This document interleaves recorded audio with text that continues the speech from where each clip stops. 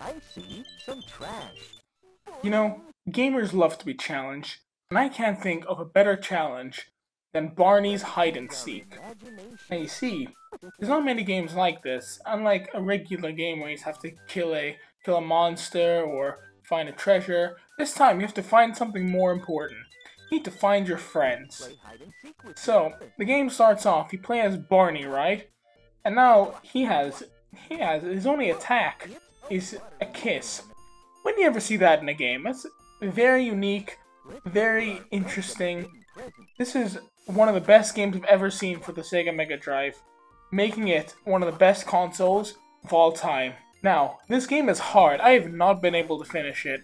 I have no idea how you're supposed to finish it without looking up a walkthrough or anything, but I'm I ain't about that. So, all right, I'm gonna try finishing it right now. So let me see. Oh, uh, hang on, hang on. Give me a give me a second, guys.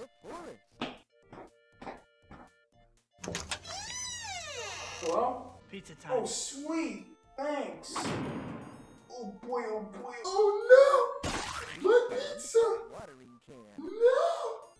It's all over the floor! Oh no! No, Ken, what are you doing?